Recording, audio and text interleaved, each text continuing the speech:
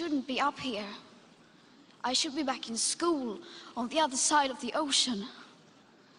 Yet you all come to us young people for hope. How dare you? You have stolen my dreams and my childhood with your empty words, and yet I'm one of the lucky ones. People are suffering, people are dying, entire ecosystems are collapsing. We are in the beginning of a mass extinction, and all you can talk about is money and fairy tales of eternal economic growth. How dare you!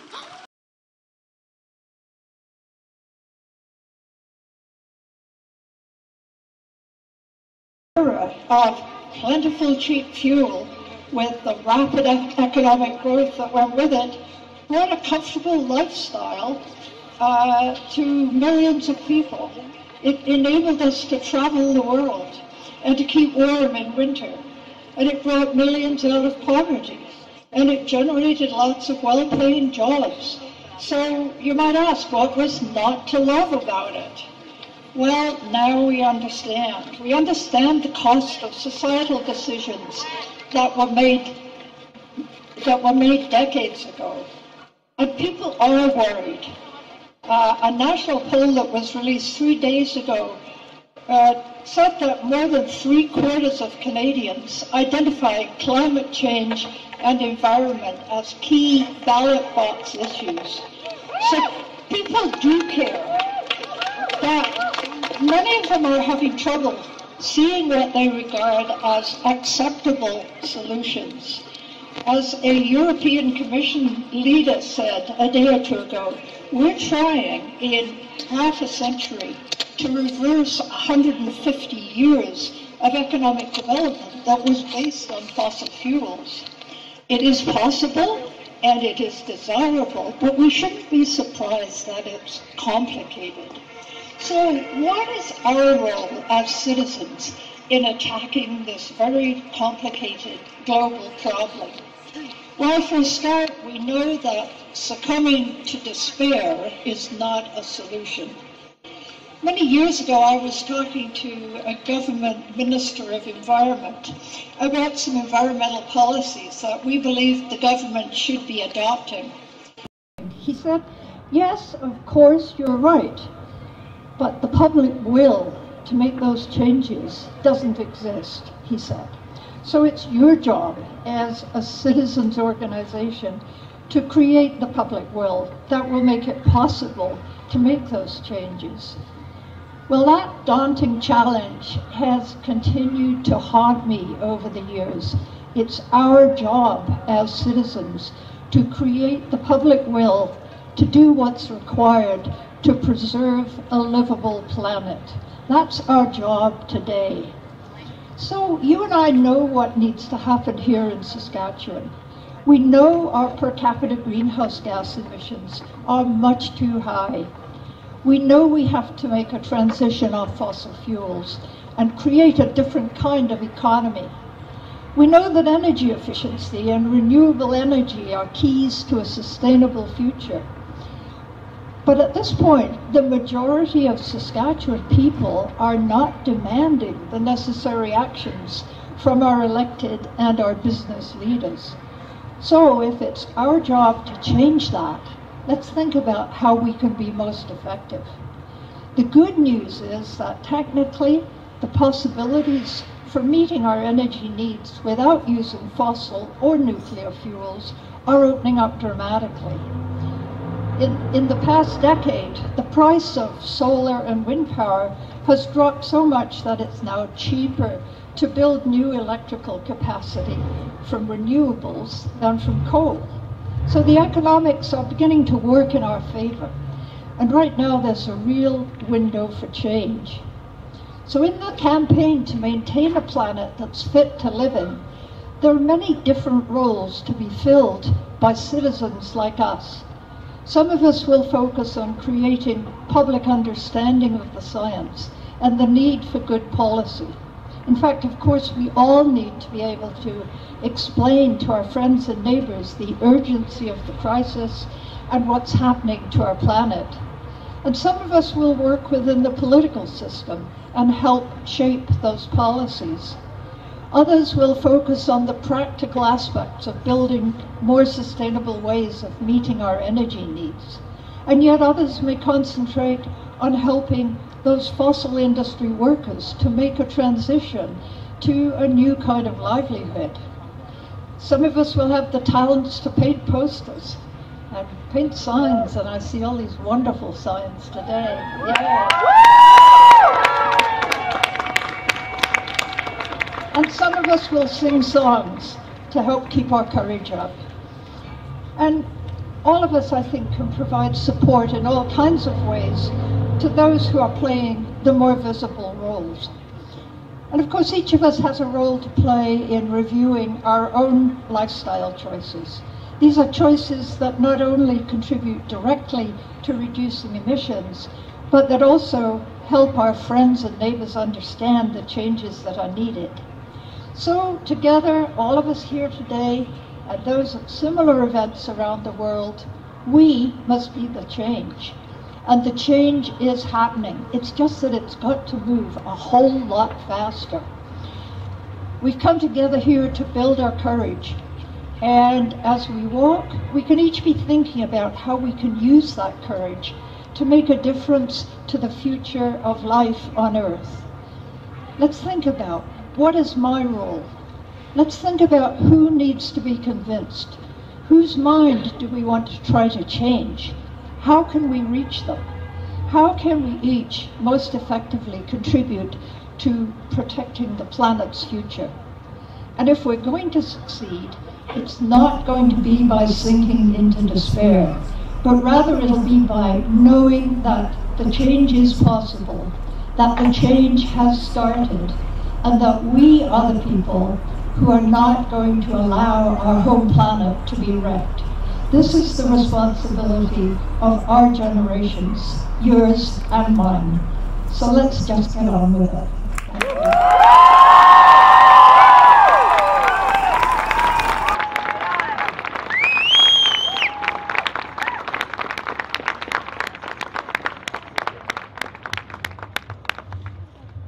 We're all going to amplify that message that you brought to us, Anne. Thank you so much. One of the groups we've got here is looking for Neil Sinclair. So, Neil, if you're hearing this, please come to the Globe. You've got people looking for you. Um, I should mention, I just to manage your expectations. So, we've got a program here that lasts to roughly about one o'clock, and then we're going to be marching. Uh, we've got a route that we've established. We have to stick to that route, so I'll give you more details about the march that takes place, and then we'll be back here I expect the march to be about 40 minutes. But uh, our next speaker is uh, a duo. We've got a duo from the medical college. Sejal and Ben, are you here today? Can you please come forward?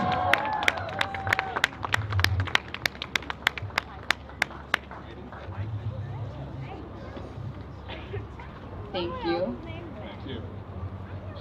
Territory, homeland of the Métis and First Nations people. We would like to acknowledge and pay our respects to the ancestors of this place and the founders of this movement towards climate justice.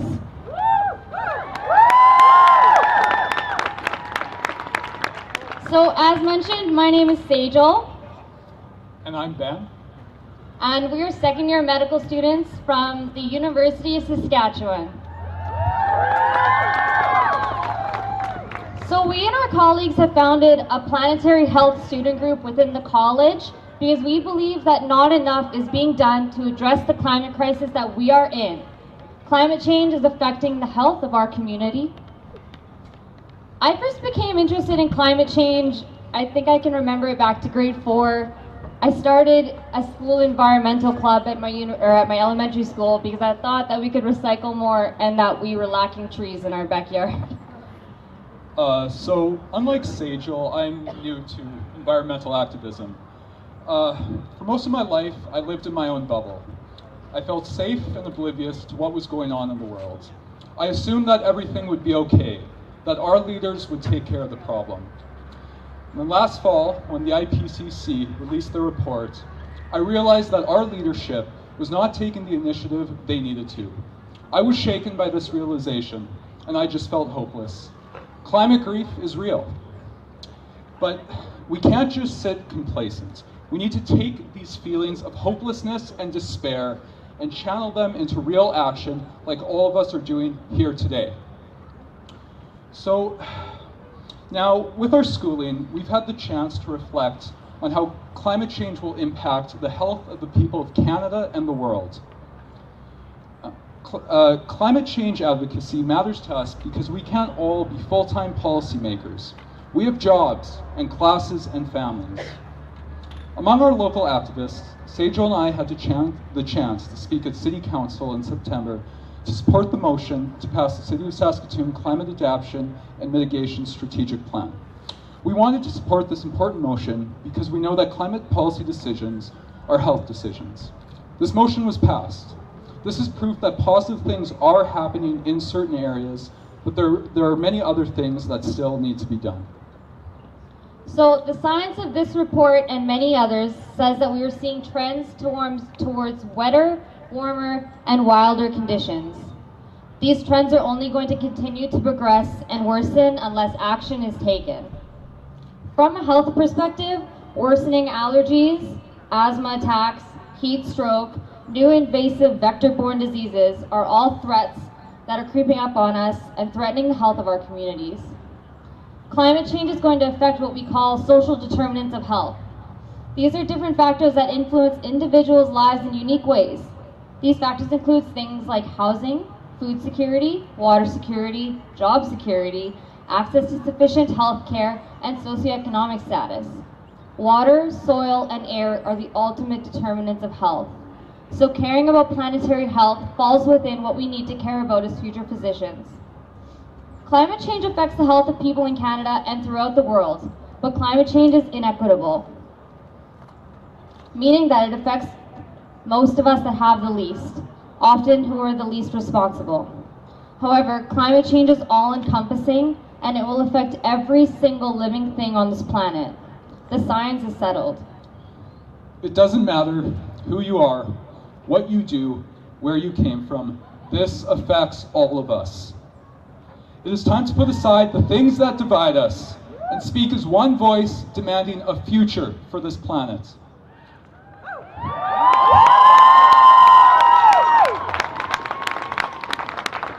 The time has come for change. No longer should we accept fossil fuel companies promising to cease their pollution of our planet while they build new pipelines. No longer should we accept politicians' platitudes of addressing climate change while they give oil and gas companies tax breaks and subsidies. It's time we stand up for our planet.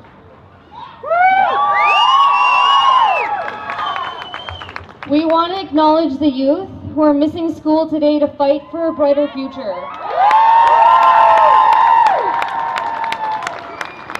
While you guys may inherit the earth tomorrow, you are acting as leaders today. And to those who are missing work or other commitments for the betterment of this planet, this could not be done without your support. And to our community advocates and to our elders who have been fighting the good fight for years, you are our inspiration. Thank you all for your presence, leadership, and activism.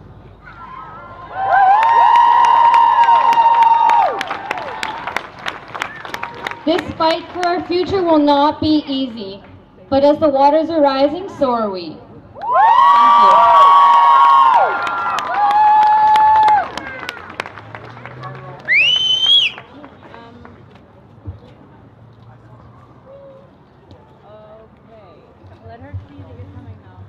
Doctors get it, nurses get it, all healthcare workers get it. There is no such thing as a healthy society without a healthy environment.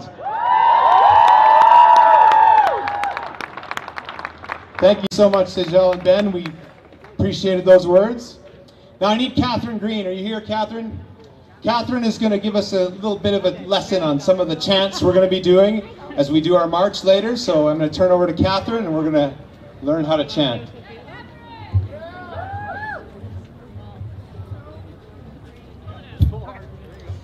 Right, so um, I'm going to climb up on the flower bed so I can see you all. Um, I don't know if you know this, but singing together has been scientifically proven to overcome despair and to build courage, which is what we need, as Anne was saying. And it's a great antidote to, uh, to eco-anxiety. So I hope you're all going to sing along today. We have a number of chan chances for you to do that. Even if you don't think of yourself as a singer, this is your opportunity to just raise our voices together. So the first song is, is very simple. The words are simply, we are unstoppable, another world is possible. And I'll start singing and invite you all to join in. And you might want to move a bit too, because I know it's chilly out today. We are unstoppable, another world is possible. We are unstoppable, another world is possible. We are unstoppable, another world is possible. We are unstoppable, another world is possible. We are unstoppable, another world is possible. Whoa, you guys sound awesome. That's great. This next one, I'm just going to do call and response. So I sing a line and then you sing it back to me. It's, uh, it goes like this. Climate justice is what we need. Not billionaires and corporate greed. and corporate greed. Climate justice is what we need. Climate justice is what we need. Not pipelines and oily seas. Climate justice is what we need. Not fossil fuels and cutting trees. Not fossil fuels and cutting trees. Woo! Thank you. Fantastic. And I know this, the students have even more chants, so if you like chanting, we're going to be doing some whole lot of that as we do our marching later today. Please welcome Trudy from the Saskatoon Peace Coalition.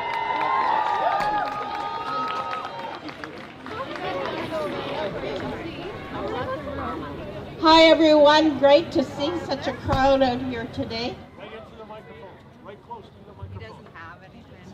My message is a little different today, but it's all connected. Wars and crimes against humanity. Wars are crimes against the earth and its environment. I looked for information on the number of dead that were killed in wars since the early 1900s, and the figures are staggering. It's in the billions. So it follows that the earth, its ecosystems, our oceans, our rainforests have been hit and damaged as well, many beyond repair. What happens in war besides horrific death to humans? Fires, water contamination, windstorms, wildlife extinction, crop failures, dying marine life, and so much more. The chemical and toxic makeup of bombs leach chemicals into the soils and groundwater.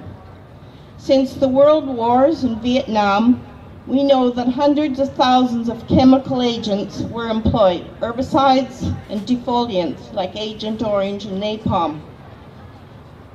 Also, labs in the world have been testing for biological warfare, things like anthrax. And they, I'd like to know maybe where Ebola comes from. They're still doing it today. They're still doing this testing. They're using primates and domesticated animals, and humans too. Military activities produce extensive amounts of greenhouse gases and cause resource depletion. The U.S. military is estimated to be the number one fossil fuel consumer in the world. The Pentagon's Director of Environment Safety and Occupational Health has stated that they work with approximately 39,000 contaminated sites. In Canada, the Department of National Defence readily admits it's the largest consumer of energy of the Government of Canada and a consumer of, quote, high volumes of hazardous materials. Armed forces from around the world were responsible for the emissions of two-thirds of CFCs that were banned in the Montreal 1987 Montreal Protocol for causing damage to the ozone layer. Naval accidents during the Cold War have dropped a minimum of 50 nuclear warheads and 11 nuclear reactors in the ocean, which remain there. We should be loudly protesting our government's plans to spend billions on fighter aircraft and warships. It's something like 19 billion and 17 billion. I heard uh, Prime Minister Justin Trudeau say today that he wants to plant 2 billion trees. Well, take that money and build the trees instead of fighter planes. We're not preparing for war, are we?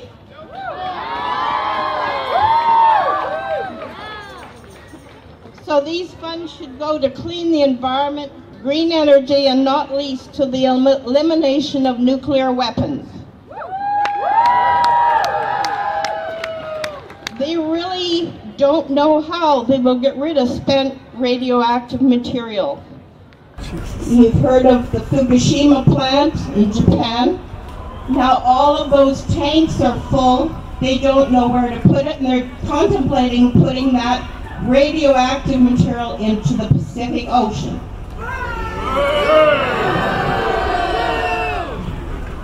And they apparently, they are dumping into the Pacific Ocean and they're saying it's treated, but it's got tritium and strontium in it, it's radioactive. And I don't think it's any active because tourism is suffering. And the hotel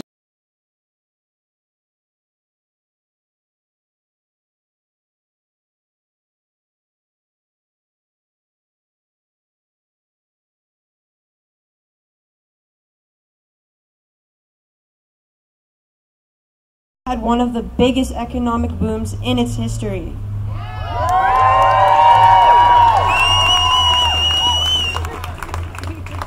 Saskatoon Public Schools had to cut $5 million in spending for this upcoming year. Yet the provincial government has spent well over $5 million fighting the federal government's carbon tax in court. My showing although our education system took a hit, we are not rolling over and letting this pass.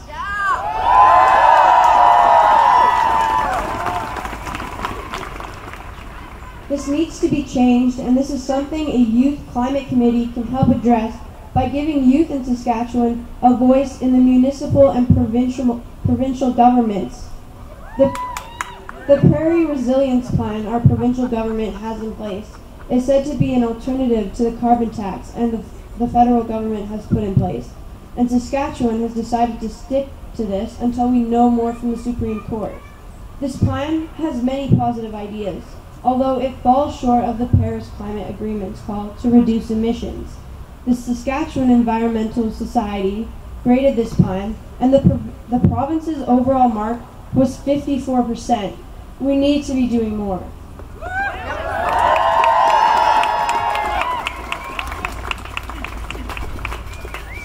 SaskPower's recent announcement to cancel the net metering rebate and even the ability to use solar in a net metering capacity is a huge hit to the solar industry,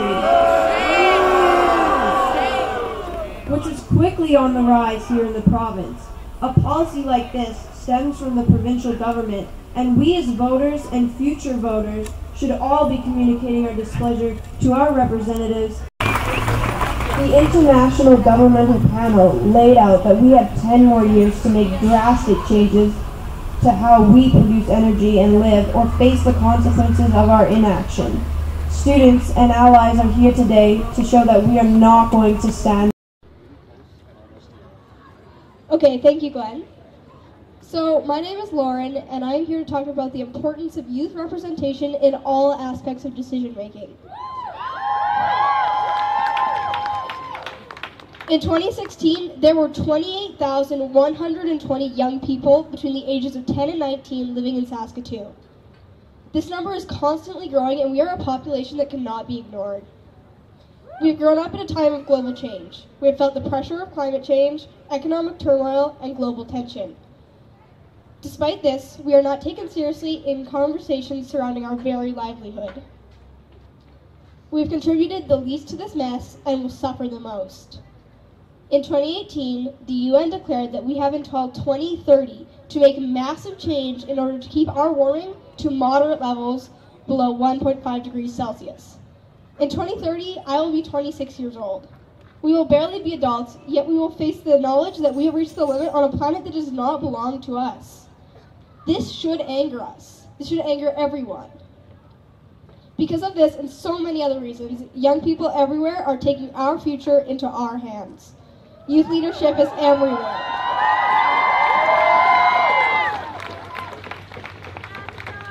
We are speaking up, contributing to the conversation, and taking charge of environmental issues we feel are not being taken seriously enough. One of the turning points in youth climate activism has, of course, been Greta Thunberg.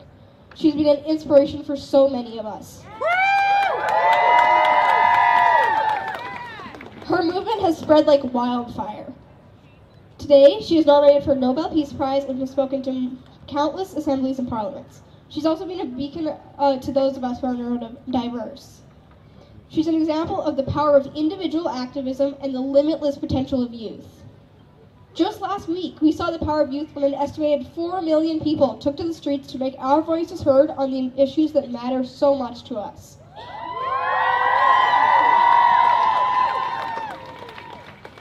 Saskatoon needs young people at the forefront of conversations about environmental policy.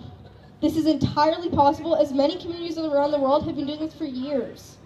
Cities like Portland, Oregon are taking action to involve youth, and we need to be more like them. They have a youth climate council that meets once a week and works closely with the municipal government to ensure youth voices are heard and taken into account. Saskatoon needs an advisory group like this one as it is our future and we need to demand a seat at the table.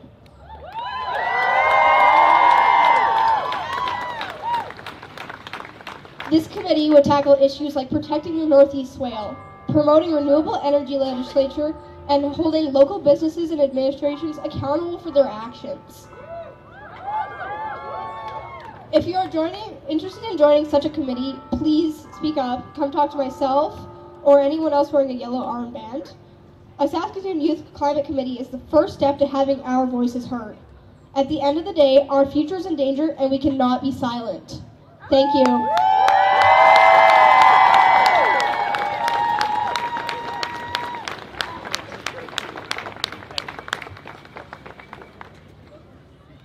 Thank you so much, Lauren.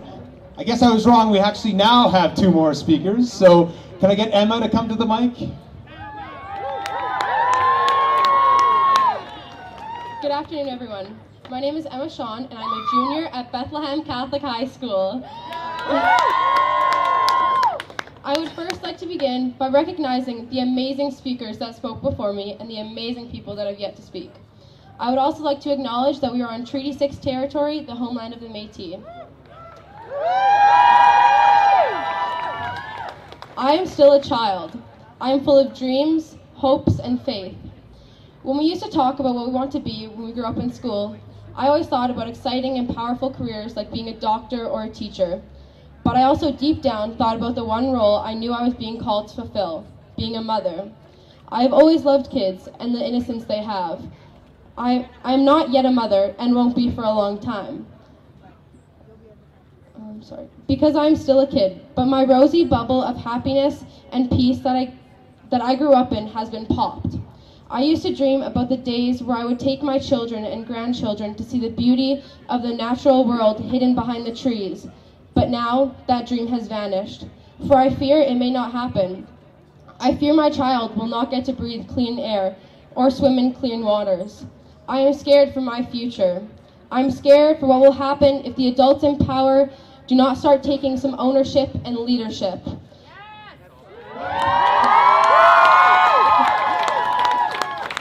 I do not want to be scared for my future. I want to be back in my rosy bubble. But unfortunately, I cannot go back there because I'm not because if I'm not out here marching, no one will be. This is not how children should be spending their Fridays. We should be in school, but we cannot be in school unless the adults with power start listening to what we are saying. I want you to realize that we are all scared. You talk about making our city safe by lowering crime rates or putting up more streetlights, but our city will never be safe unless we start taking action in the biggest crisis our world has ever seen, the climate crisis. We need help. We must all unite together and help save not only our planet, but also the future of coming generations. I want you all to be worried and start acting like this is a crisis. I want my future back. I want to give the future generations their future back, but I cannot do it alone. We need the adults in charge to start doing what they were elected to do so that us kids can be kids again.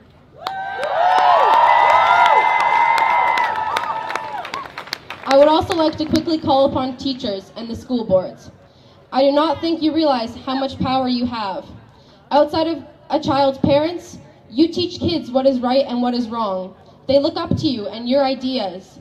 All students, regardless of age, are influenced by their teachers. Teachers and the school board need to stop with the lack of support for students trying to fight for their future. You are helping mold us into good people to be released into the world. But if we don't have the support and are punished for fighting for our futures, all the work in teaching us how to be better people will have been wasted. There will be no world to release us into.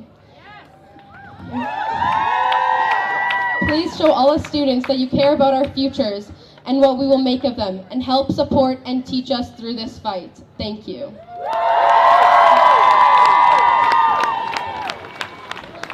On the prairies, whether we realize it or not, already increased by two degrees centigrade. Even with immediate and decisive action,